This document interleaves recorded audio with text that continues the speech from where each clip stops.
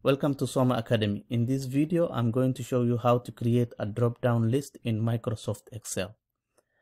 Uh, on the screen, you can see that uh, I have names of players and their positions. Uh, this column, column E, the data on column E I have typed, but in, in the next column, column F, I have, I want to create a drop-down list. Rather than typing, I want to choose a drop-down list. So in order to do that, the first step is you choose from the menu at the top, you choose data, and then you also select the column where you want to have the drop-down list. Uh, from there, you choose uh, data validation. You click on data validation. And once you do that, under the data validation criteria, you click on the that drop down and then choose list.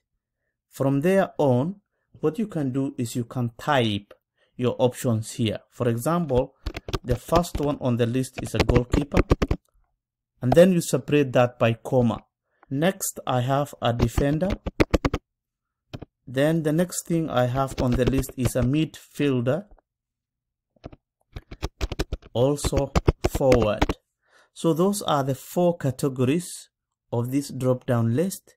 Then I click OK.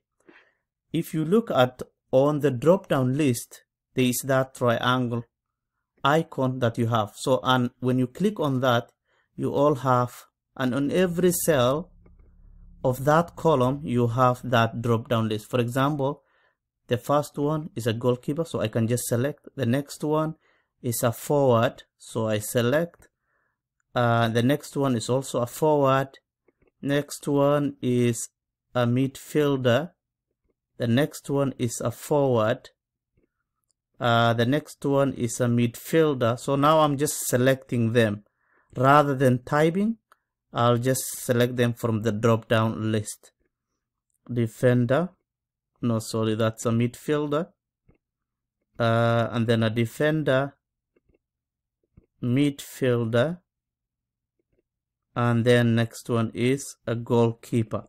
So that is how you create a drop down list. Just to recap, first step, you select the column where you want to have the drop down list to appear. Next step, you choose you from the top menu, you click data and then from there you click on data validation. And then in the data validation criteria, you have to make sure that you have list as the category. So by by default you would have any value but you have to choose select uh, you have to select list and then from there on you you you type your your your options goalkeeper defender and make sure you separate that by commas. And then you click ok. And from there on you just have to fill in each cell with the options that you want. I hope this was helpful. I will stop it there for today Please do not forget to subscribe. Until then, happy learning.